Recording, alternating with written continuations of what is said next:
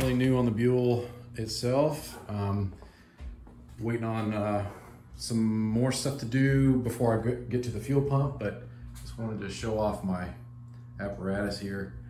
Um, when I did the fork job on the Buell, uh, which I don't have a video of, sorry, uh, I had to use uh, two ladders like that one there with uh, two two by fours strung across and some um, ratchet straps to pick up the front end by the handlebars. Um, and uh, it, it, works, it does the job, um, but it irritated me because it took up uh, way too much space. It was really unwieldy to get around.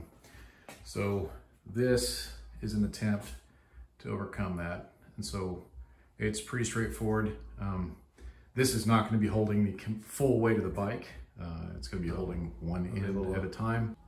Get on there and hold hold from the uh, 2x4 going across. It didn't flex, it didn't do anything, no creaking, no nothing. And given the short period of time that the bike would actually suspend from that, it should be okay. We're not talking, you know, the bike isn't going to hang indefinitely like shelving or something like that.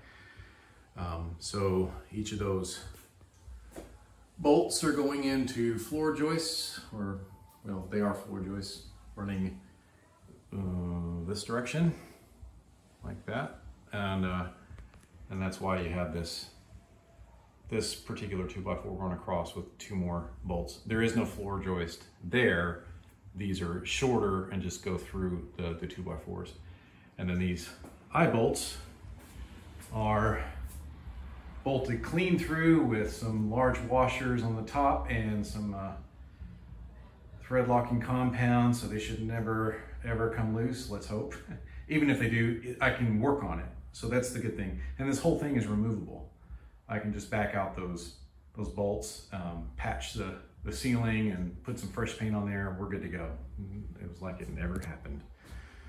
Um, so anyways, just thought I'd share that with you guys. Um, when I get to the fuel pump, maybe I'll do a quick video on that. Just one of those uh, short videos. And because uh, what I have to do is pull off the back wheel, loosen that shock, take off that plate, take the fuel pump out, do everything and uh, put it all back together.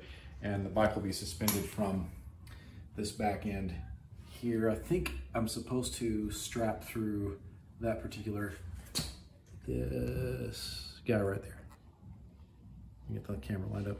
That one. So, um, yeah. Let's cross our fingers everything goes well with that. Because, uh, man, I'm going to tell you, it's been, uh, this bike has not been fun. Lots of seized bolts, broken bolts, just stuff. Oh, that's what the price you pay for buying a fixer-upper, you know? at least it runs and I can ride it and have fun. I got to tell you, Buells handle like really well. Uh, I know that newer bikes are, are obviously better, but you got to admit, man, for its time, it was ahead of its time. I mean, it really was. What a cool idea, putting a Sportster engine into a sports bike. Just cool. All right, guys, that's about it for tonight. Uh, hope y'all have a good one. Until next time, peace out and keep it.